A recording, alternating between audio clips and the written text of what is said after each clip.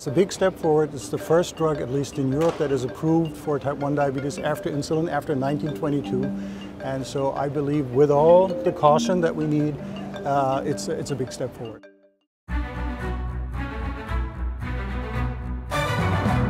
SGLT2 inhibitors have been approved for people with type 2 diabetes in many countries and are helping many patients around the world keep blood glucose low.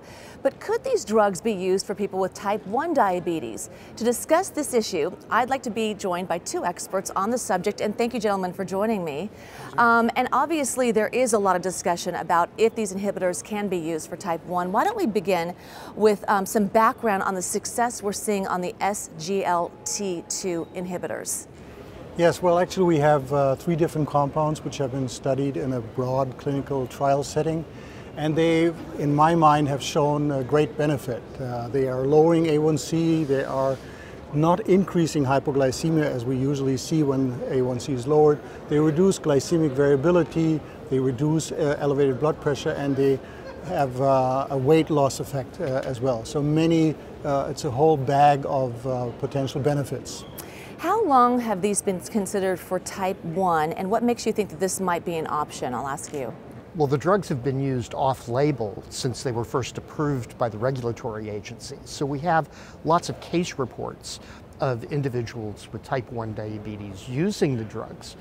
And it's important to understand that historically there have been very few options for people with type 1 diabetes beyond insulin. So having those options really is an unmet need that we need to be exploring.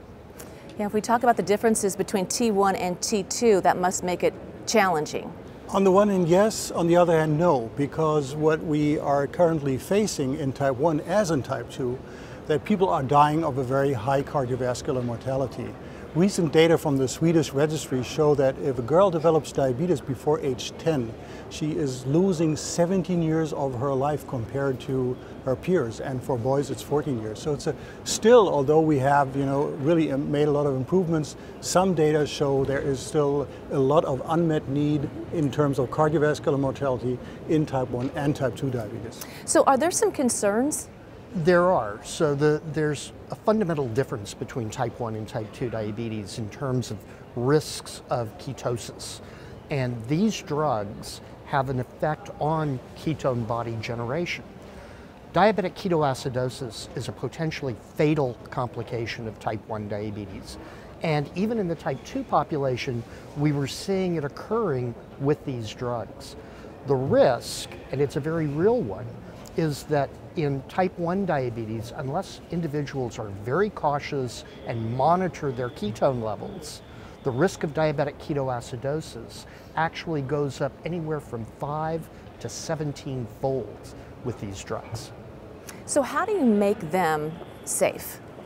Broad question, I know. No, but it's uh, actually a very good question because a whole international consensus came together and actually discussed that and it is about patient selection. You have to select the right patient for it. Uh, it is about education because what we have been successful in doing is reducing the rate of hypoglycemia in the overall population. What we have not been successful is reducing DKA, and this is also an educational issue in the broad population of uh, um, diabetes teams as well as, as patients. So we believe uh, it can be done, uh, but we certainly need to do it because it's clearly a risk uh, not only with this type of drugs, but in the general type 1 population.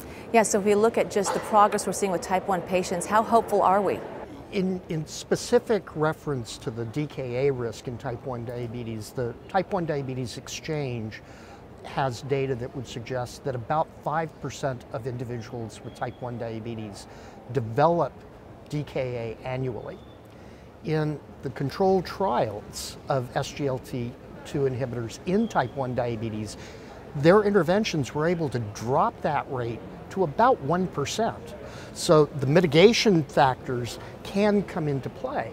The concern is, can we duplicate those mitigation factors in the general population that have been shown to be effective in the controlled clinical trials. You know, and lastly, are we looking in the right direction or are there other paths we should be also exploring? Well, as I said before, I mean, we still have a huge unmet need in type 1 diabetes, but I really think those drugs are a big step forward because what my patients tell me once they take this drug from day one, their glycemic variability is going down. So they immediately see an effect that their glucoses are much more predictable and they have a much better day if they wake up more or less with the same glucose every morning. And so I really believe it's, it's, a, it's a big step forward. It's the first drug, at least in Europe, that is approved for type 1 diabetes after insulin, after 1922. And so I believe with all the caution that we need, uh, it's, it's a big step forward. And you agree? I agree to a point. I think that the individuals with type 1 diabetes who choose to use this therapy need to be aware of the risks and need to be aware that as they lower their insulin doses, there's a threshold that they cannot go beyond. Well, I appreciate your wealth of knowledge, both of you gentlemen, and thank you so much and enjoy your time here. Thank you so much. Thank you.